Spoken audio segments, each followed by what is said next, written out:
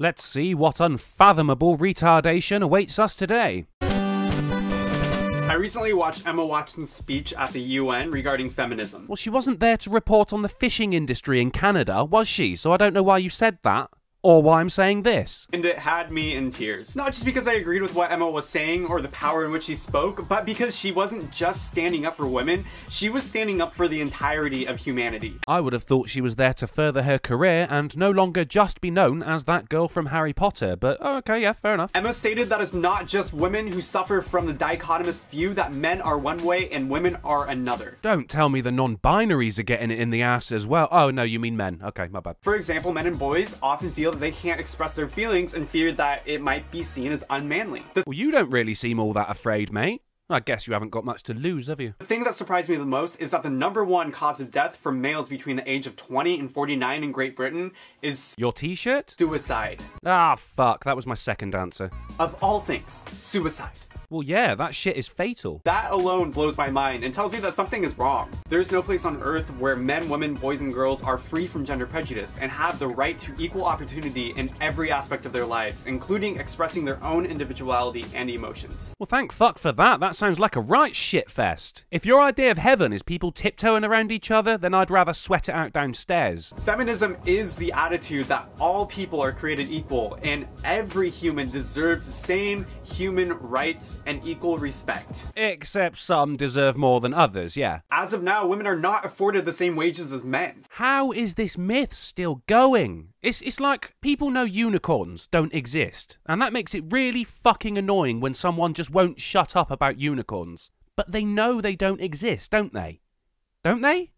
Don't they? They're not well represented in politics or in global policy making. Hello, buddy, coming at you from a country that's on its second female prime minister. Woo, over here. In her speech, Emma stated, if men don't have to be aggressive to be accepted, women won't feel compelled to be submissive. And if men don't have to be in control, then women won't have to be controlled. Well, yeah, I mean, it sounds nice because it kind of folds up into its own little pamphlet, doesn't it? But the fact is, being a man doesn't inherently make you aggressive. Being a woman doesn't make you submissive, and suggesting that it does only serves to broaden the gap which you are apparently trying to close. Both men and women should feel free to be sensitive, and both men and women should feel free to be strong. We do live in a time where you can be whatever you want to be. Look at Caitlyn Jenner. Look at that bitch who thinks she's a cat. You wanted to be a whingy little cunt, and you're doing it, mate. The ideals of feminism do not only reach into the aspects of gender, but also of sexuality. Yeah, fuck knows why. I mean, what what is going on there, really? As a child, I felt trapped and confined. I felt that I couldn't freely express myself like my female acquaintances and still be accepted by my community. Yeah.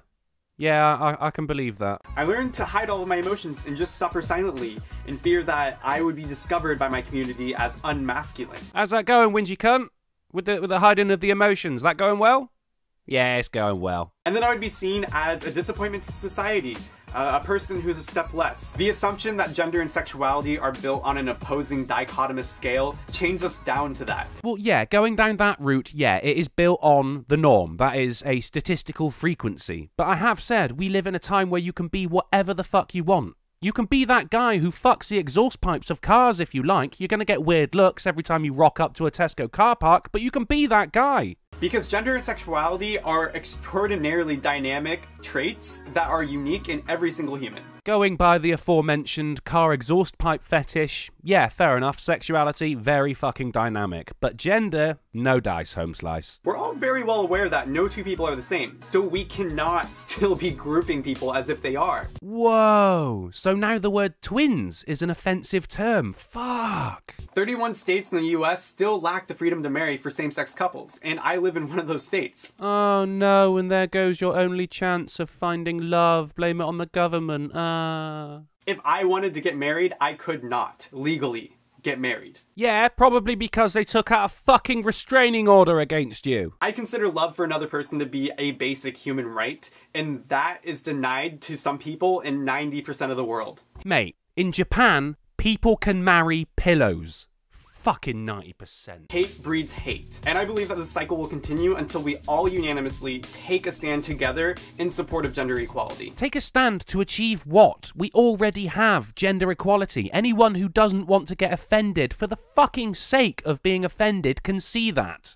It's not just a man issue or a woman issue or a gay issue or a straight issue. It's it's a human issue. Whoa, whoa, whoa, whoa. Did you just assume my species? Join the solidarity movement in support of women and girls, click the link heforshe.org in the description below. If Join a solidarity movement in support of women and girls, but it's not just a female issue. Did you get your hypothalamus gland pierced as well as both of your ears? If you identify yourself as male, you can sign the He for She commitment to take action against all forms of violence and discrimination faced by women and girls. So men can take action. Okay. If you identify yourself as female, you can still promote this awesome cause and spread the word about this movement. Oh, yeah, okay. Women spread the word and men take action. Yeah, fu- yeah, yeah, yeah. Gender equality. Got it. As always, I love seeing your thoughts in the comment section below. You want my thoughts? You want my. Th- okay, my thoughts are you look like a cross between a mime artist and hepatitis. Thank you for watching, guys, and remember wait for the engine to cool down before you fuck it.